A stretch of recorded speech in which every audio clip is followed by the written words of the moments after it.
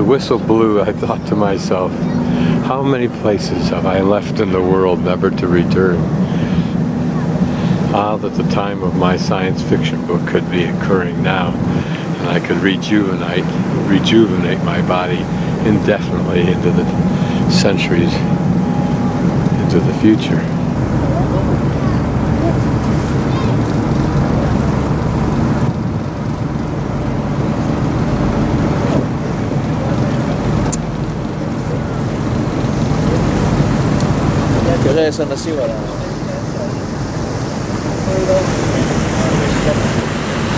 I'm just curious whether this might be the remains of a volcano. Look on the map, Iceland seems like such a discreet, lonely, small outpost in the North Atlantic. But when you're gazing like this, this is on telephoto a bit, you realize how vast this area is.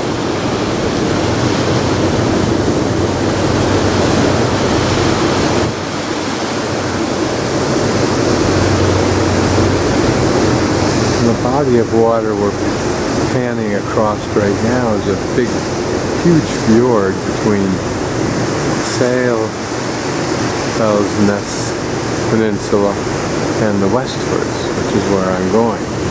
This just cuts off a day of solid driving.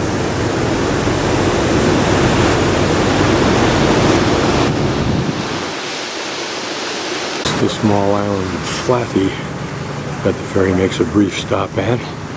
And if you have some bizarre need, you can spend the night here, or as long as you want.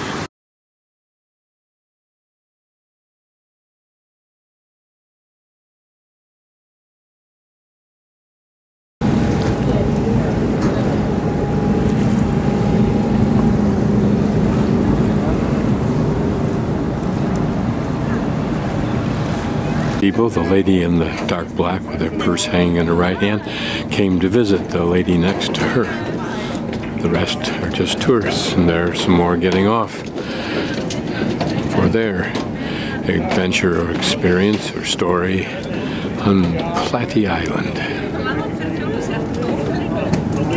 Don't think those are the local taxis, but might well be if you have any place to go. See how this splice is finished off.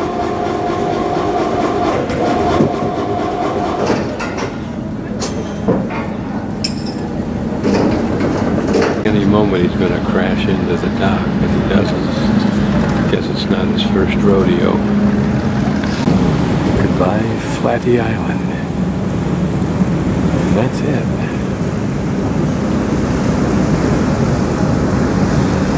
You love remote when you live here.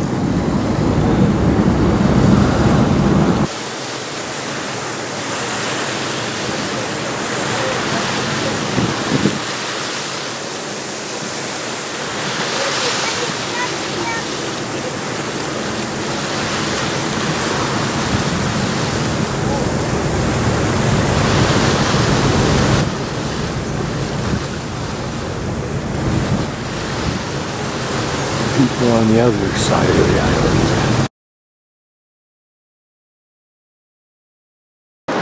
Got off the ferry a few moments ago, probably 15 minutes now, and picked the first spot I could find. I had to drive back to it to spend the night, and this is it.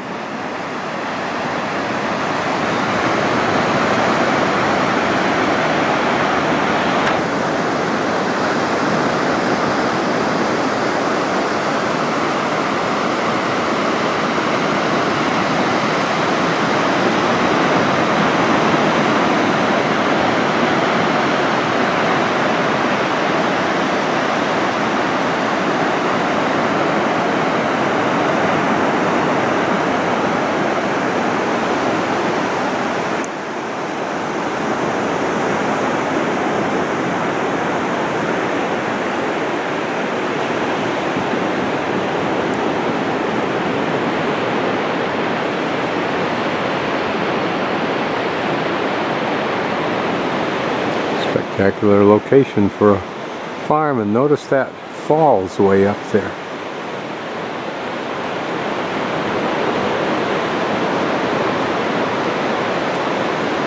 These little dark spots that look like something the oceans left behind are in fact what look like little worms of sand, but what I think they are is deposits of something that is underneath there that's alive. I don't know what it is. Haven't seen this before, to my knowledge.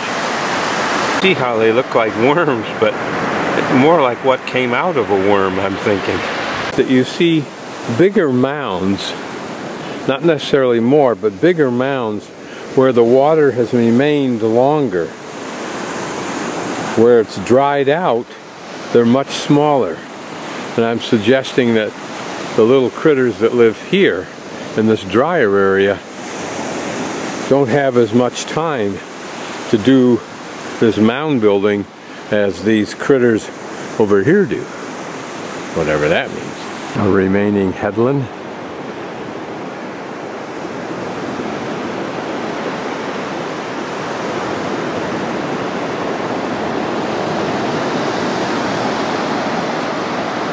turning into a pretty night.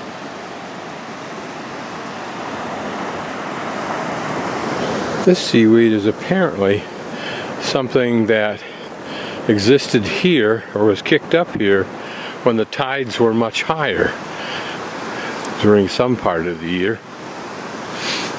And now that the tides don't come this high up, they've all died and dried out along with piles of other refuse, including this is where the farmers apparently decide to dump their tires. Go figure.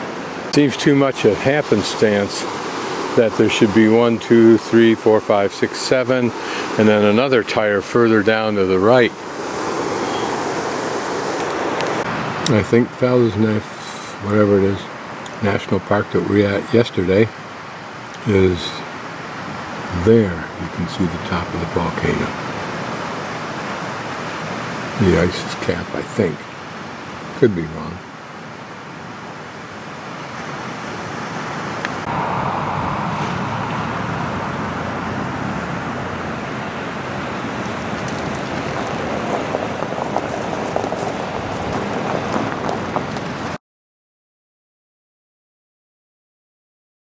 Once again, I'm somewhat confused as to where Snaefellsjökull mountain is, but I think that may be it there now that the clouds have dissipated across the bay a bit. Sure looks like it, doesn't it? Check out Rocket Mortgage today at Quicken Loans. My next morning, you can see the pattern so atypical, apparently, of Iceland. Don't complain, just take it. And there's the direction we go. Last night I could hear some of the sheep rubbing up against the van for some reason. I saw them scratching themselves yesterday by rubbing against one of the road barriers. There is the top of the mountain that I just climbed up, my first mountain that I've just come up on a car. Hear this interesting monument to somebody. Spectacularly rugged country. And remote in the sense of density of people and drivers, but a great highway considering the population. Notice our brilliant green, or at least lime green moss again, but over on the far side you can see the gray moss. It's just interesting to imagine what percent of this land is this high, moss-covered, devoid of animal, remote, pretty much inaccessible except by helicopter or foot, land. Three beautiful swans that I startled off of a side of the cliff or of the side of the hill to my left and they skittered across the street one of them slamming into the water in a kind of a jumbled, uncoordinated manner, most unswan-like. Another flotilla of birds.